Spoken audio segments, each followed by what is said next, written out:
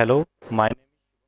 is and I have secured 68 All India rank in electrical engineering in GATE 2017 and I would like to give all the credit to my parents and along with my all the teachers who created my concepts in all the subjects and that's why I got this rank and I would like to thanks to Engineers Academy who gave me this such a platinum opportunity to get 68 rank. Thank you.